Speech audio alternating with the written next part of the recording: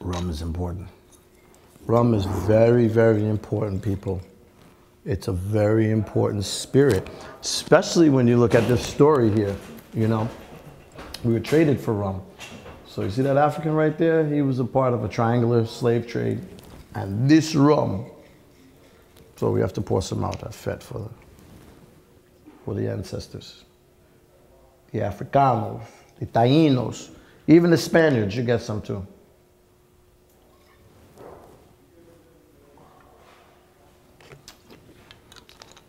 And so, uh, so I was talking at lunch today about uh, we want to put in a fireplace in the bistro, uh, which is the you know a year and a half away.